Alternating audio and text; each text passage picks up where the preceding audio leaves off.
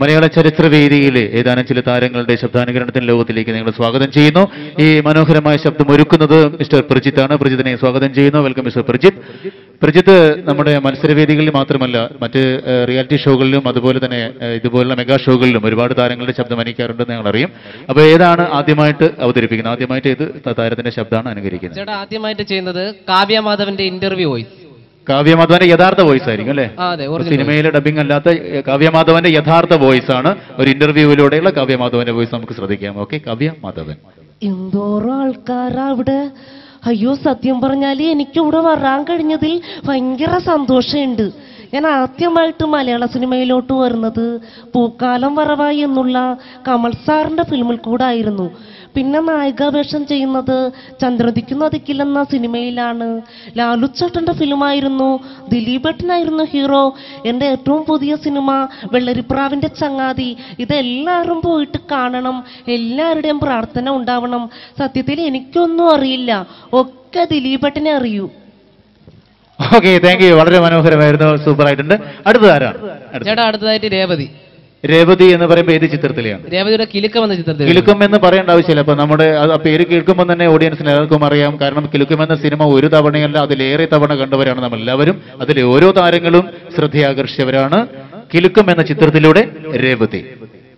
പ്രധാനമന്ത്രി അപ്പൊ നീ കഴുത പറയാ എന്റെ അമ്മാവന്റെ വഹയല്ല ഹോട്ടലിൽ നിന്ന് അപ്പൊ ഞാൻ ചോദിച്ചു നിന്റെ അമ്മാവന്റെ വഹയാണ് ഹോട്ടലിൽ നിന്ന് അപ്പൊ അവ എന്നെ എടീന്ന് വിളിച്ചു ഞാൻ അവനെ പട്ടീന്ന് വിളിച്ചു. അപ്പൊ ഒരുത്തിനെ അടിക്കാൻ വന്നപ്പോ ഞാൻ എന്റെ കൊട എടുത്ത് അവന്റെ വയറ്റത്ത് ഒറ്റ കുത്തുകുത്തി എന്റെ കുടയെ പിടിച്ച് വലിച്ചപ്പോ ദാ അവിടെ ഇരിക്കുന്ന ഫോട്ടോ എടുത്ത് ഞാൻ തറയിലെറിഞ്ഞു പൊട്ടിച്ചു. എന്നിട്ട് ഒരുത്തിനെ പിടിക്കാൻ വന്നപ്പോ ഞാൻ ഫോൺ എടുത്ത് അവന്റെ തലയിൽ ഒറ്റ അടി വെച്ചു. എന്നിട്ട് ഒരുത്ത എന്റെ അടുത്ത് പറഞ്ഞു അവന്റെയാണ് ഈ ഹോട്ടലിൽ നിന്ന് അപ്പൊ ഞാൻ അവന്റെ അപ്പുപ്പനെ അമ്മുമ്മനെ ഒക്കെ ചീത്ത പറഞ്ഞു. അവൻ പോലീസിനെ വിളിക്കുമെന്ന് പറഞ്ഞപ്പോ ദാ അവിടെ ഇരിക്കുന്ന പൂച്ചട്ടി എടുത്ത് അവന്റെ തലയിൽ ഒറ്റ അടി വെച്ച് കൊടുത്തു. അവനെ ആസ്പത്രിയിൽ കൊണ്ടുപോയി. ഞാൻ വേറൊന്നും ചെയ്തില്ല. ഇത്ര ചെയ്തല്ലോ അതിനാണ് അവന്മാർ ഇങ്ങനെ ബഹളം വെക്കുന്നത്. ഓക്കെ താങ്ക് യു വളരെ വളരെ വെരി ബ്യൂട്ടിഫുൾ അടുത്ത ഏതാണ്? ചേട്ടാ ബിന്ദു പണിക്കർ. ബിന്ദു പണിക്കർ. ബിന്ദു പണിക്കർ പറ്റി ഞാനൊന്നും പറയുന്നില്ല. നമുക്ക് കേൾക്കാം. ബിന്ദു പണിക്കർ. എടാ അശോക പഠിപ്പ് എന്നെ പഠിപ്പ്. അവസാനം ബി എ റിസൾട്ട് വന്നപ്പം ഞാൻ തോറ്റു. അതെങ്ങനെ? അവറ്റകൾക്ക് എന്നോട് സ്നേഹമില്ലല്ലോ. താങ്ക് യു ഓക്കെ ഇനി ആരാണ് വരേണ്ടത് നമ്മുടെ. തീർന്നെണ്ണ. തീ- അപ്പോൾ അപ്പോ അടുത്ത ചേട്ടൻ കമോൺ ഇനി മലയാള ചരിത്രവേദിയിൽ നമ്മൾ ഏറ്റവും ഇഷ്ടപ്പെടുന്ന ചില താരങ്ങളുടെ ശബ്ദാനുകരണമായി ശബ്ദാനുകരണവുമായി ദീപു എത്തുകയാണ്. വെൽക്കം ദീപു. ആദ്യമായിട്ട് ആരുടെ ശബ്ദമാണ് അനുകരിക്കുന്നത്? ചേട്ടാ ഞാൻ ആദ്യമായിട്ട് സുരാജ് ചേട്ടന്റെ വോയിസ്. സുരാജ് വെഞ്ഞാറമോട് ഒരു കയ്യടി. സുരാജ് വെഞ്ഞാറമോടിന് ഒരു കയ്യടി കൊടുക്കാം. ഓക്കെ താങ്ക് യു സുരാജ് വഞ്ഞാറമൂടിന്റെ മനോഹരമായ ഒരു ശബ്ദം നമുക്ക് കേൾക്കാം.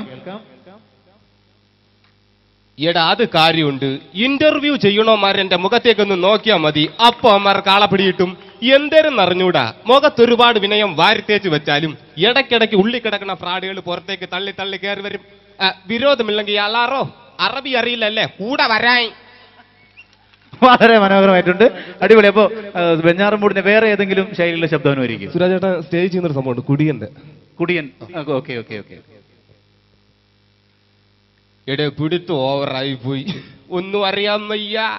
നീയേ അടങ്ങി ഒതുങ്ങി ഇരുന്നിട്ട് നീ ഒന്ന് ആലോചിച്ച് നോക്കിയാണ്. എങ്ങനെയാണ് ഇതിന്റെ അകത്ത് വലിഞ്ഞു പിടിച്ച് കയറിയെന്ന്? അതുപോലെ ഒന്ന് ഊരി നോക്കിയാണ്. എന്റെ ഭഗവാനെ എനിക്ക് ഊരണ്ട. ഇവനത് നേരത്തെ വലിച്ച് കയറ്റാൻ തോന്നിയത്. എടേ ഇത് വന്നാ. വന്ന് ഓക്കെ വേറെ ഏതെങ്കിലും ഉണ്ടോ വെഞ്ഞാറമൂടിന്റെ വേറെ ഏതെങ്കിലും വോയിസ് പിന്നെ വേദിയിലേക്ക് വന്നു കഴിഞ്ഞാൽ ആ. സുരാജ് വേദിയിലേക്ക് എങ്ങനെ ആയിരിക്കും ഓക്കെ ഓക്കെ ഓക്കെ എന്താ? എല്ലാവർക്കും സുഖമല്ലേ? എന്നൊക്കെ ചോദിക്കുമ്പോൾ നിങ്ങൾക്കൊന്നും ഇവന് മട അടങ്ങിയെന്ന് അതുകൊണ്ട് അങ്ങനെയൊന്നും ചോദിക്കുന്നില്ല. അണ്ണാ ചായ കുടിച്ചിട്ട് തന്നെ വന്നിരിക്കണേ? തള്ള ഈ കിളവി ഇത് എന്തൊരു വിളപ്പ് വിളക്കണേ? ഓക്കെ താങ്ക് യു അടുത്ത അടുത്തായിട്ട് ഭീമൻ രഘു. ഭീമൻ രഘു. ഓക്കെ ഭീമൻ രഘു. പുള്ളി ഒരു പദ്യപാരായണ വേദിയിലേക്ക് എത്താണ് പദ്യപാരായണം. ഓക്കെ ഓക്കെ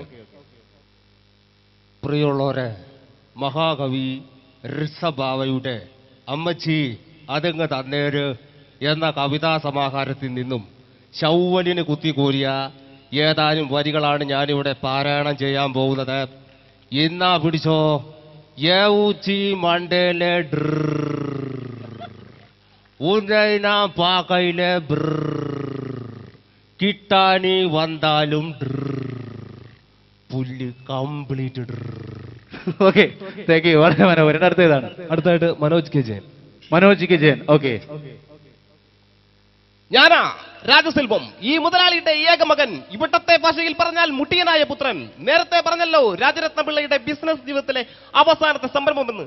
അവ കറം പറ്റും. ഒടുക്കത്തെ സംരംഭം. തള്ളയുടെ പേരും പറഞ്ഞ് തന്തേ കൂട്ടുപിട്ടി ചൊണ്ടാക്കാൻ വന്നാലുണ്ടല്ലോ. ഓക്കെ താങ്ക് യു വളരെ മനോഹരമായിരിക്കുന്നു. മനോജ് കെ വോയിസ് ഒന്നും ഇതുവരെ മിമിക്രി വേദിയിൽ നമ്മൾ ആരും അനുകരിച്ച് കേട്ടിട്ടില്ല. വളരെ മനോഹരമായിട്ടുണ്ട്. അടുത്തതാണ്. തീർന്നു. തീർന്നോ? ദീപയുടെ മ- വെടിമരുന്ന് തീർന്നു. തീർന്നു. ഇനി ആരാണത്? ഇനി ചെയ്യാം. ഇന്ദ്രജിത്ത്. ഓക്കെ ഒരു നടൻ കൂടെ ഇന്ദ്രജിത്ത്. താഴ്ന്നു നിന്നേ. എന്നെ മനസ്സിലായ? എവിടെ മനസ്സിലാവാൻ? അന്ന് എനിക്ക് പത്തോ പന്ത്രണ്ടോ വയസ്സ്. അന്ന് തന്റെ പരാക്രമത്തിൽ എനിക്ക് നഷ്ടപ്പെട്ടത് എന്റെ അച്ഛനയാ. തനിക്കറിയോ? എന്റെ അച്ഛൻ മരിച്ചതിനു ശേഷം മുഴുപ്പട്ടിണിയായിരുന്നു മുഴുപ്പട്ടിണി. പട്ടിണി സഹിക്കാൻ വയ്യാതെ എന്റെ അമ്മ എങ്ങാണ്ടെന്നാ വന്നൊരു വരുത്തന്റെ കൂടെ ഒളിച്ചോടിപ്പോയി. എന്നിട്ടും കുമാരൻ ഈ തുറ വിട്ടു പോയില്ല. വള്ളത്തിൽ പോയും കൊണ്ടും കൊടുത്തു അങ്ങ് വളർന്ന്. ഞാൻ വളർന്നപ്പോ എന്റെ കുറുമ്പ് അങ്ങോട്ട് വളർന്ന്. ഇപ്പൊ എല്ലാവരും വിളിക്കുന്ന കൊമ്പൻകുമാരെന്ന ഒരുപാട് തൊലത്തല്ലേ നമ്പൂരിച്ചൻ ചെല്ല്?